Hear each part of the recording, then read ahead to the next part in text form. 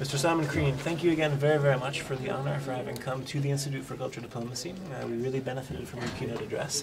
We'd like to take the opportunity now just to ask you a few follow-up questions uh, based on some of the insights and the perspectives you shared with us in the lecture. First question I want to ask you is something we've spoken about already, uh, but I want to get on the record uh, your answer uh, and also share with you or, or learn from you some of your perspectives. What is cultural diplomacy, uh, once again? And then secondly, how do you think cultural diplomacy can assist in promoting cross-continental cooperation? Uh, and then what importance do you see in today's world for cross-continental cooperation? Three questions. Well, cultural diplomacy is deepening the relationship, but strengthening it in particular through person-to-person contact with an understanding as to the background of the country you're engaging with. It's important to understand their side of the equation and try and find the common values, but at the same time understand the differences and seek to resolve issues based on that better understanding. Now, how can it assist? Um, I think in many ways. I think that cultural diplomacy, this people to people engagement, is fundamentally important. If we just leave it to governments, it's missing out on the stakeholder input. And for all governments, they have to engage the stakeholders. What I think we've got to look at in the stakeholders is that they bring a different approach to either the problem solving or to an understanding of the issues in question. So, as communications has broadened, as the means for dissemination of information and therefore understanding has proliferated, it's incumbent upon governments to look beyond just their engagement to other people to people engagements for a strengthened relationship. Having said all of that, I think the fundamental point in all of it is the people to people contact. You need to engage and understand and relate at a personal level. And I think it's that personal level through a widened understanding through whatever form can help address an issue that transcends borders, that comes back more to a values set, more to a common objective. Okay. And then just to the third question regarding cross-continental cooperation, is that at all relevant in the sense there's, you know, the one thesis that the goal of the nation state is to be independent. Uh, once you've reached your independence, you've succeeded and you can do whatever you want. There's the counter thesis that actually we live in an interdependent world, and as much as we want to be free and do whatever we want, we can't. Uh, and really, we have to accept this global interdependence. Uh, do you see relevancy in this cross-continental cooperation? And if so, what? But the interdependence is the reality, isn't it? I mean, the global economy requires global solutions. No one country can solve or advance its interests just by being an island nation. It's not to say they should give up their value set, give up their sovereignty, give up uh, the issues that are important, but if they want to engage more effectively, diversify their economic base, um, and advance their cultural interests, they have to accept the interdependency, and once they accept that, you've got to engage on a bigger front than simply the political one, simply the government to government one. The cultural dimension, um, I think, is an important vehicle. Not the only one, but it's important. Yeah, um, I, I, would like to uh, ask you a question regarding uh, Australia is very well known for its. Uh, it's one of the countries that cultural diversity is is the essence of that country. And uh, as a person who have been in government and in politics in different portfolios, what is the biggest challenge you can see in addressing this cultural diversity? Will it be maintained or will it be fragmented after a while? No, I think it'll be. I think the diversity will be seen as an asset, should be seen as an asset. I believe it is an asset. I think a country that has the richness of cultural diversity that we have by being home to the oldest culture on earth but welcoming to the greatest diversity of the cultures on earth, it's done a lot to define us. And I think an important value in that definition and what makes us attractive is that we do have this commitment to tolerance and understanding. I also think that because we have now embraced and understood the significance of our indigenous culture and have fundamentally respected that in a more meaningful way, this too is important in our region because countries that themselves respect their cultures respect others who respect uh, theirs. So I think that uh, now that that, um, that dimension has occurred, that we have benefited from our multiculturalism, I think it's here to stay. And whilst there will always be attempts to try by some in the community to narrow us back, I think the overwhelming sense of the public is that there is strength in that diversity, there's pride in it. It's an important part of our brand. We don't have to invent it of ourselves, it is us. And people admire it and uh, we should be proud of it. Uh, with regards specifically to the Asia Pacific region, how do you think the region can contribute to the strengthening of cross cultural cooperation? And in your opinion, what would you say the economic, political, and cultural roles of the Asia Pacific region are in the New World Order? Well, I think the growth of Asia is the great phenomenon of our time. It is the great opportunity of our time. It is huge new markets emerging and new wealth creation.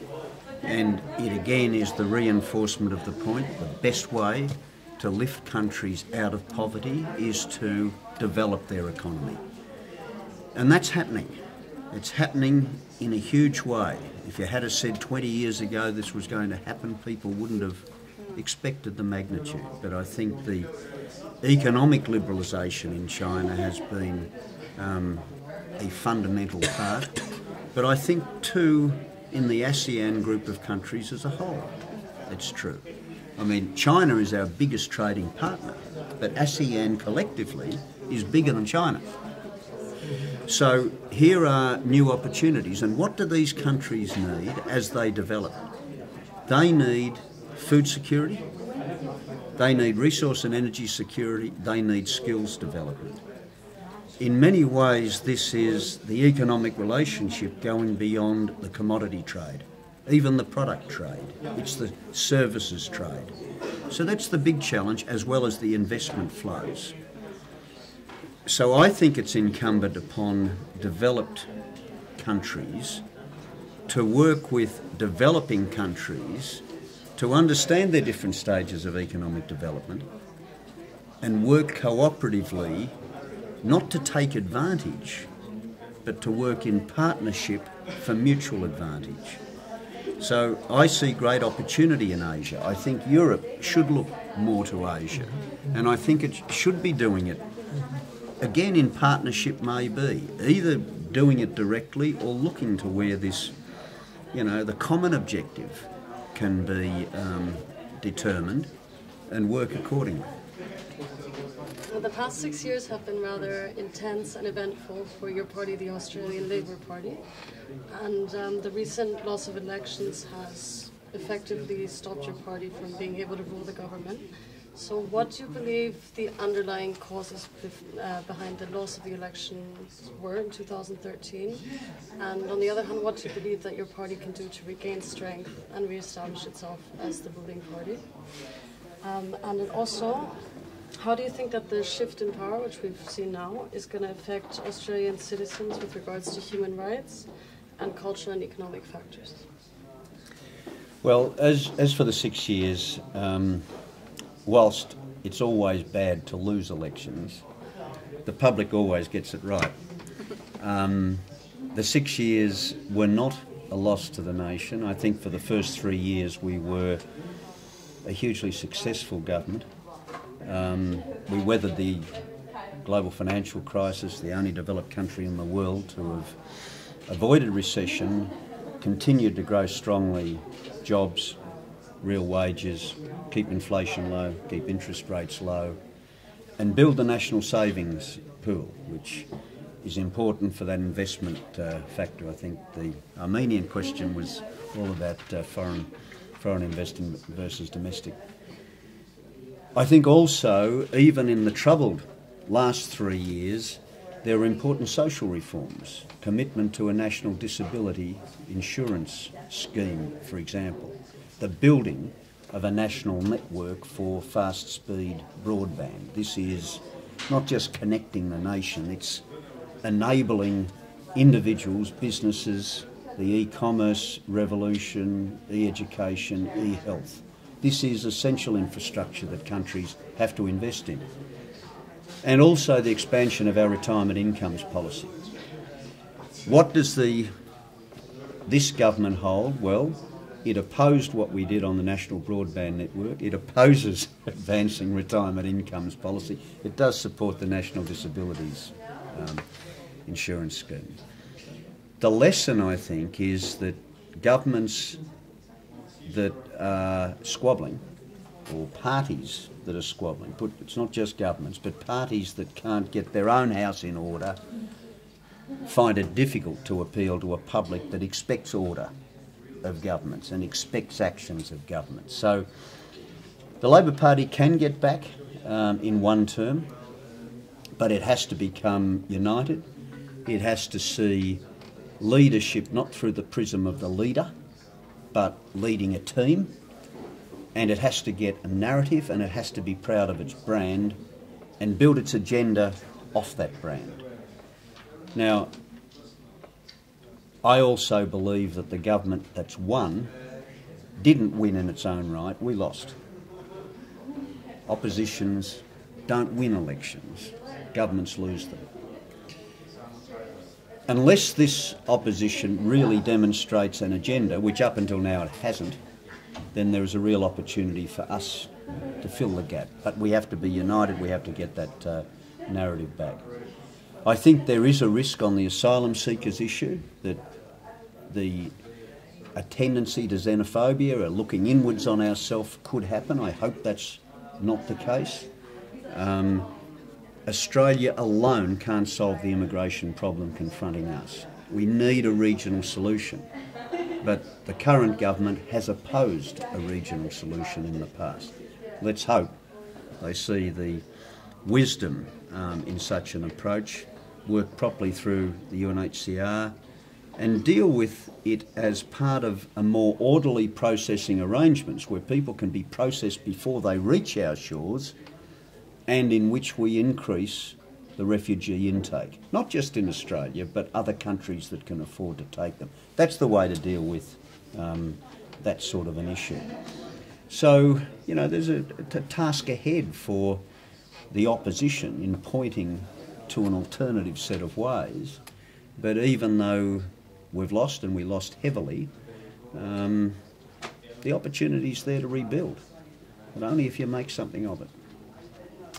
I want to uh, to continue in, in, the same wavelength and uh, follow up on the last question. Um, now, aren't you afraid that the internal politics uh, could really affect the work of Australia during the last three decades?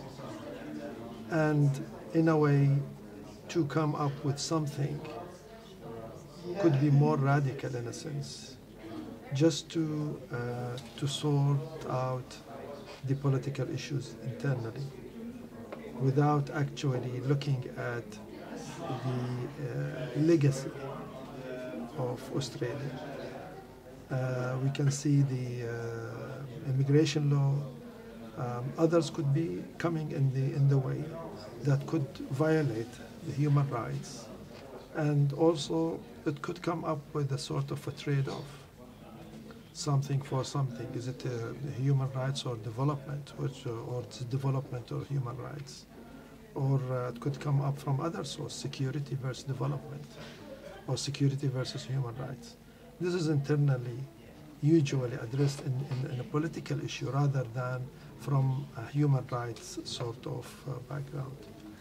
Yeah, I think that there's strong bipartisanship in our country on the human rights issue. Um, that's not to say it's easy to deal with. Um, we've raised issues with China, for example, in relation to uh, human rights. Um, we always do that through the um, uh, appropriate uh, channels, and I think there is bipartisan support for it. As to whether the country regresses, that depends on how determined the current government is to take us back.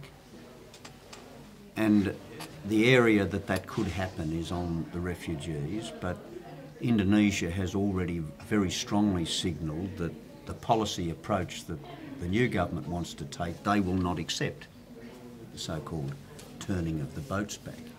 Therefore, there's no point proposing a solution that's not going to work. The public will understand in pretty short order that this is a policy that can't work. What you've then got to do is to do what we, in my view, fail to do properly in government, and that is to present the alternative, something that can work. And herein, there's an interesting historic perspective because we have accepted in the past large waves of immigrants from Indochina, out of the Cambodian and the Vietnamese um, wars, the Vietnam War and the Pol Pot um, regime. But they didn't arrive in Australia by boat. They left their countries by boat, but they were processed in countries on the way here by agreement. There were understandings which the government established to process in country, to get agreement from the country from which they came to return if people were found not to be genuine refugees, and in circumstances in which Australia was prepared to take a larger intake as part of a global solution for a larger intake. Now, as much as we've got a problem with asylum seekers, the world has a problem with settling dispossessed people, displaced people, people on the Syrian borders. There's lots of people in this circumstance. Where the issue has got complicated for us, and this is what tugs at people, is that people smugglers have got involved.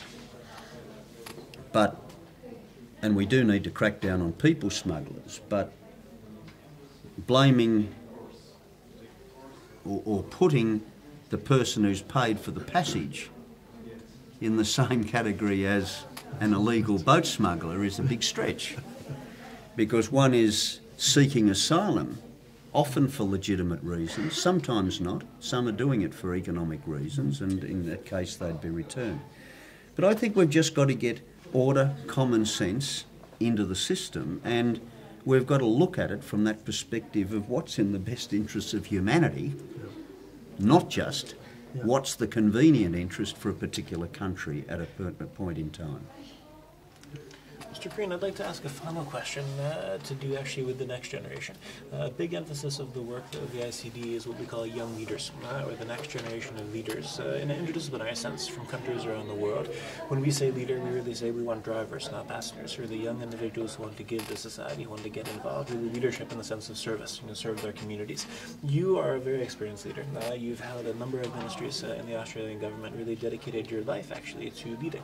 so I just wanted to give you an opportunity and also to ask you if you could offer one message uh, for the next generation of young leaders uh, in Australia, but also in the global sense. What would that message be? Uh, in the sense, you know, today's society is very difficult. We have Syria crisis, economic crisis, this and that. What would your message be to the next generation of young leaders? I think it's pursue your passion, be confident in what you set out to achieve, don't be deterred by the knockbacks. Everyone gets knockbacks. Persist. Persistence is important. But also realise that there's a limit to what you can do as an individual. It's an important part to be proactive, progressive, innovative, and creative, but you've got to build a team around you. You've got to develop a team. You've got to do it collectively. And that means, I think, involving people in the process, engaging them. I talk about engaging the stakeholders, but it's as much involving individuals and getting a collective ownership, an ownership and advocacy for the cause. And, you know, I have great confidence in the young people of today.